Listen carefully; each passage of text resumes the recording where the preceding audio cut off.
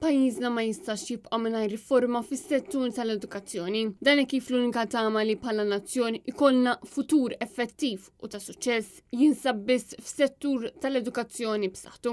Hekk iddikjara l-editorjal tat-Times of Malta, hekk kif spjega li l-aħħar riżultati li ġew ippubblikati mis-settur tal-edukazzjoni ikkonfermaw li dan is-settur jinsab flimbu. Bl-editorjal issostni li s-settur tal-edukazzjoni ma jistax jibqa' jissolvi l-problemi li ilu snin jaffaċċja b'manuvri li jniedu soluzzjonijiet short term. Il-Prim Ministru Robert Abela kompla jgħid l-editorjal qed ifalli milli jara x'jista' jsir biex f'pajjiżna jkollna sistema tal-edukazzjoni li tkun aċċessibbli għal kulħadd. e kif hawn porzjoni kbira ta' studenti li qed ifallu u oħrajn li ġejjin minn familji li huma meqjusa bħala żvantaġġjati. L-editorjal innota kif jeħtieġ investiment li jħalli iżjed riżultati, e kif dan l-aħħar qbil li ġie ffirmat bejn l-MUT u l-Gvern aktarx li mhux se jsarraf f'wisq riżultati minħabba li dan is-settur jeħtieġ riforma kbira biex il-ġenerazzjonijiet futuri ikollhom ċans aħjar. L-editorjal ta' Times sostna wkoll li din ir-riforma tista' sseħħ,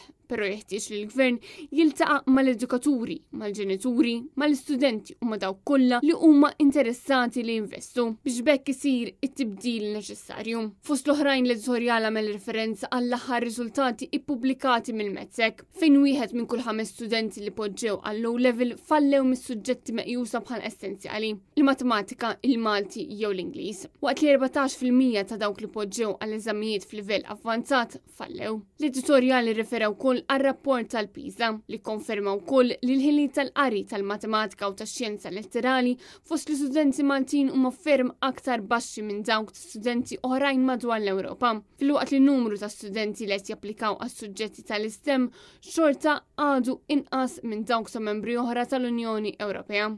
Intant minkejja li n-nefqa f'dan is-settur hija waħda mill-ogħla fl-Unjoni Ewropea, xorta waħda Malta għandha wieħed mill-aktar persentaġġi għolja ta' studenti li ma jkomplux jistudjaw.